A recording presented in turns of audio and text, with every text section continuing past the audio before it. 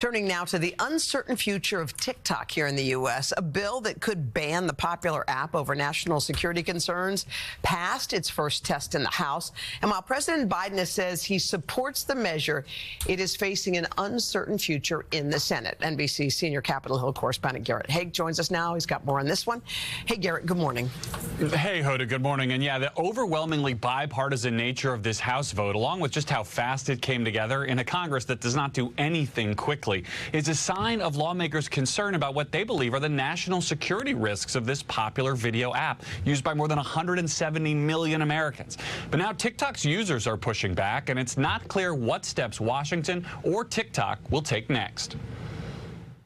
For social media giant TikTok, an uncertain future this morning as a bill calling for the company to split from its Chinese parent company or be shut down now heads to the Senate. The U.S. House on Wednesday, in a rare and overwhelmingly bipartisan vote, passing the measure that requires TikTok's parent company, ByteDance, to sell the app within six months. Republican Mike Gallagher wrote the bill. What do you say to people who just fundamentally don't understand why the app where they watch silly dance videos is a national security threat? The possibility for dangerous propaganda is too immense to allow one of our foremost adversaries to have this control over what is increasingly becoming the dominant news platform in America. Lawmakers and national security experts have long been concerned with ByteDance's ties to the Chinese Communist Party, which many believe can and does store data from American users, partly because of a national security law that requires Chinese companies to share data and other information with the government.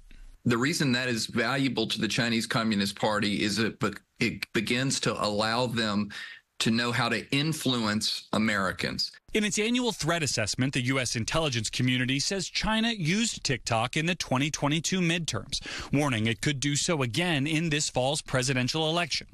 TikTok has repeatedly denied any connections to the Chinese government, with the company's CEO responding to the House vote late Wednesday. We will continue to do all we can, including exercising our legal rights to protect this amazing platform. Just 65 House members, mostly Democrats, opposed the bill it's an overly broad bill that I don't think will withstand First Amendment scrutiny. Uh, the the other issue is that there are a lot of people who make their livelihoods on this, including creators like J.T. Laybourne. It is 100% of our income. Um, it's how I feed my wife and three children. Even some who support a divestment see a double-edged sword in an election year, with more than 20% of American voters using TikTok at least once a day cutting out a large group of young voters is not uh, the best known strategy for reelection. All right, so this is a process, Garrett. What happens next? Well, Hoda, from here, this bill will go to the Senate, where they don't seem to be in any hurry to pick it up. Leader Schumer, the majority leader, says only that the Senate will review it. But if it does get passed by the Senate and signed by the president, it would give six months for this sale to occur. And that's without what's an almost inevitable court challenge that would come. I think the bottom line here is that TikTok isn't going anywhere anytime soon. All right, Gary.